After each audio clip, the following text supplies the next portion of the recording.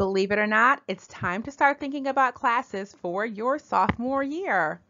In this brief presentation, we will go over the steps for the freshman course registration. Sophomore year, you will only have to take six classes. Yep, that means you get to sleep in for an hour next year. Your sophomore classes will include English, math, a science class, PE or ROTC in health, a literacy class or an elective, and a math support or an elective. Here you can find a list of our example classes for our college prep track. You can see the sophomore level classes are highlighted in green. So our sophomore level recommended classes would be English 2, Physics, geometry or advanced algebra, an elective or math support, PE or ROTC and health, and an elective or literacy. Here you can find an example of our honors track, honors and AP track of classes.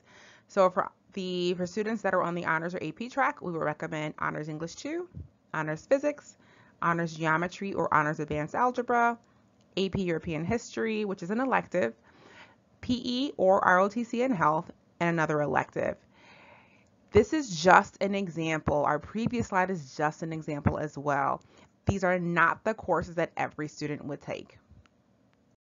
If you would like to know details on all of the classes that we offer, we encourage you to check out our course offering guide. You can find this directly on our website. If you can't find the link, just type in the search uh, bar course offering guide and it should pop up for you. It'll look something like this. All right, when you open it up, you can see there's lots of information here. For example, we have all of our graduation requirements listed here. Here's some college en uh, entrance requirements there. And if we keep on scrolling, um, it also lists each of our academies, gives you some details on those, and then even gives you some example um, schedules if you choose to go into that academy and also provides some suggested electives.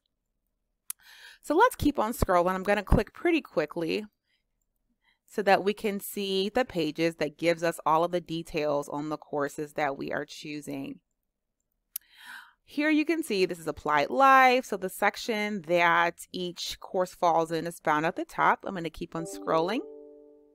And I'm going to go to business education. So for business education, for example, accounting is one of our electives. Here's how you would read this. On the left, you can see the grades that are eligible to take the class. So for example, for accounting, 10th, 11th, and 12th graders are eligible to take the class. Here you can see how many courses the class is. So this is two semesters, which means it'll take up an entire year. Below that, you see the prerequisites. So that's what you would need to take prior to registering for this class.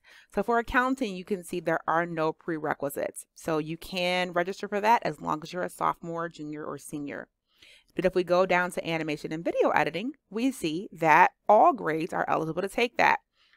9th, 10th, 11th, and 12th. We see that it's two semesters, but this one does have a prerequisite. They're recommending that you take computer applications 1 and 2 before you take animation and video editing. Let's look at one more example over here, which is graphic design. Graphic design, all grades can take it, 9th, 10th, 11th, and 12th. But what we do notice is that, is that it's only one semester. So in a case like this, we would need another class to add for a second semester in order to have an elective for a full year.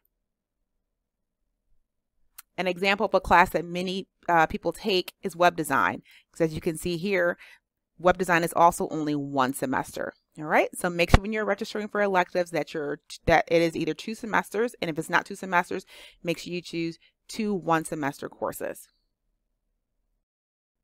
The first step in choosing courses for next year is course recommendation. Course recommendations begin at the end of November. The first step will be done by teachers. At the end of November, they will access the academic planner, which you will find in Infinite Campus. If you go to your Infinite Campus portal and scroll down to Academic Plan here on the left side and click on that, you will find this here. You can click Proceed to go to the next page. In the academic planner, here's what you will find. You'll see an example of courses that they're recommending for you for 9th, 10th, 11th, and 12th grade. For this year, you only need to focus on the 10th grade classes. So what will happen beginning November 29th is teachers will look at their um class their they'll go in and make recommendations for every teacher in their every student in their class. I'm sorry. For example, the English teacher will make recommendations for which English class you should take for your sophomore year. The math teacher will make a recommendation for which math class you should take your sophomore year, so on and so forth. Beginning in December, the portal will be opened up to students, and students will have the opportunity to go in and state which classes they would like to take. As you can see up here, this is now disabled for students. In December, once it's opened up, in this bar right here, you can actually access every class that is in our course catalog. You can search for courses and select what you would like to take, and it'll show up in the appropriate category. Attached to this email, you will also find detailed instructions on how to access and use the academic planner. The last step to this process will be meeting with your counselors in January. So in January, every single student will have the opportunity to sit down with their counselor one-on-one to discuss the options that were chosen in your academic planner. When you are done choosing your classes in December, there is no need to meet with your counselor about those courses because you will have the opportunity to meet with us in January. If you have questions regarding academic planner, feel free to reach out to us. You can find our email addresses to your right. However, once again, there's no need to meet with your counselor in December regarding your courses because every student will have the opportunity to meet with their counselor in January. Thanks so much for taking the time to listen to this brief registration process. We will see you all in your advisories.